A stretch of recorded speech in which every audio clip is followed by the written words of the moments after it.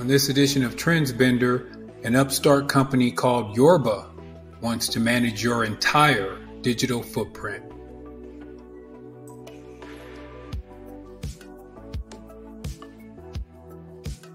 Amazingly, in 2023, the average person has about 150 digital accounts.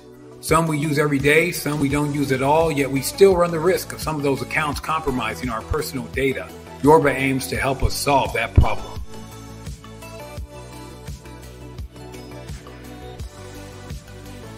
Yorba helps us get rid of the accounts we don't use and clearly see the critical stats on all the accounts we use every day saving us both time and money in the process.